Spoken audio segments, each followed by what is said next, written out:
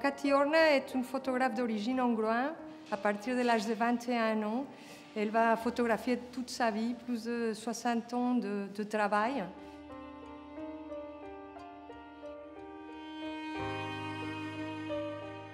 Katy manipulaba siempre su fotografía. Entonces era la libertad, la libertad que ella tenía como creadora.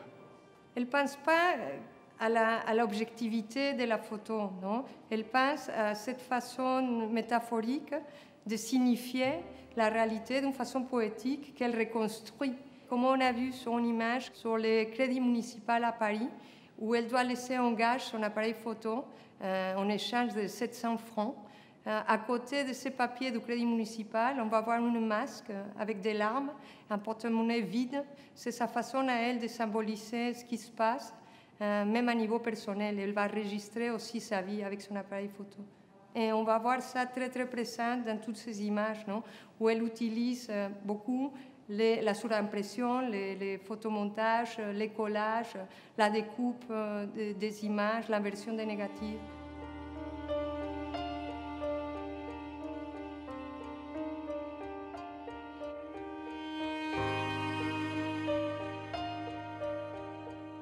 Hongrie, elle va être très très influencée par la chose kazakh. Pour Kazakh, la photographie est vraiment un moyen de transformation sociale et pour lui, toutes les avant-gardes ar- artistiques sont étroitement liées aux avant-gardes révolutionnaires et le rôle de l'art, c'est un rôle émancipateur. On va, on va voir comment Cathy va continuer avec cette démarche, cette pensée tout au long de sa vie. Elle va prendre des cours particuliers avec Joseph Pexi. C'est de cette époque-là que les deux portraits avec lesquels on commence l'exposition euh, ont été faits dans son studio.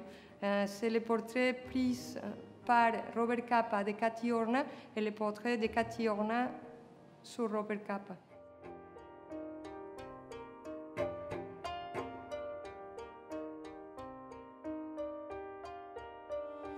En arrivant à Paris, elle va être imprégnée du mouvement surréaliste où on, on voit euh, la force de la rencontre fortuite, euh, le pouvoir du hasard, non Euh, le flâneur benjaminien. C'est à ce moment-là qu'elle va commencer ses premiers photoreportages avec Lutetia Press, où elle va réaliser cette série Les marchés aux puces et les cafés de Paris.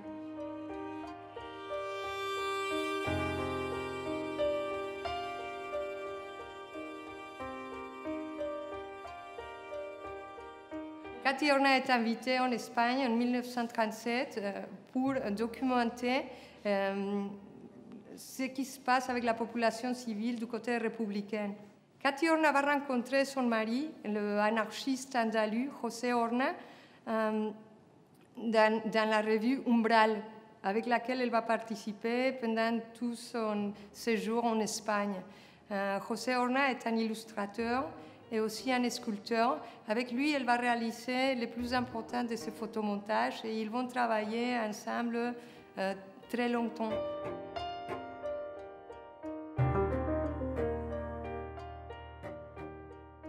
En 1939, et ils arrivent à Mexico, ils vont s'installer euh, dans une maison mythique au 188 de la rue de Tabasco. Pour Cathy Horna, euh, qui est une personne qui a vécu l'exil et la persécution en permanence, cet espace deviendra sa patrie et ses amis, sa famille. Là, elle va rencontrer des personnages comme euh, Leonora Carrington, Remedios Varo, Benjamin Perret, euh, Mathias Geritz. Elle va être très proche d'Edward James, non Elle va photographier tous ces personnages, elle va être la chroniqueuse d'une époque.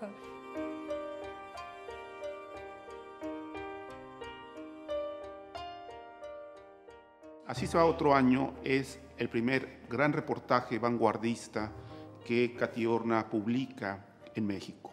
Es un, es un reportaje muy singular de aspectos simbólicos porque no muestra la guerra, eh, lo fatídico de la guerra, sino que está mostrando simbólicamente qué es lo que estaba sucediendo en eh, Europa.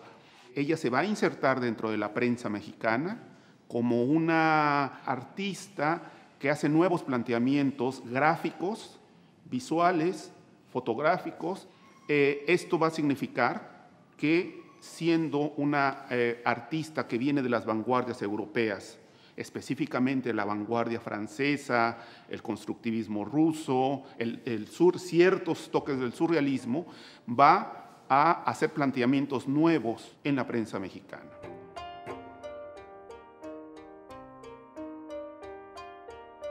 Esta obra de la Castañeda es de 1944, pero, pero aquí ya se muestra ese sentido que tiene Cati Horna de acercarse a las personas, acercarse a los olvidados, acercarse a aquellos sectores sociales que nadie tenía en cuenta.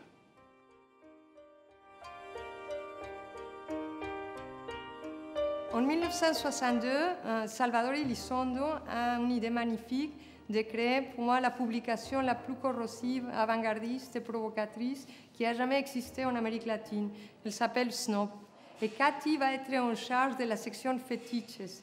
C'est la première fois dont elle a une totale liberté. Elle dit que pour elle, c'était les années les plus heureuses de sa vie, où elle va vraiment pouvoir euh, raconter en images euh, sa vision du monde. ¿no? Oda a la necrofilia fue el primer gran juego visual de puesta en escena que aparece en la revista Snob en, eh, a mediados de 1962.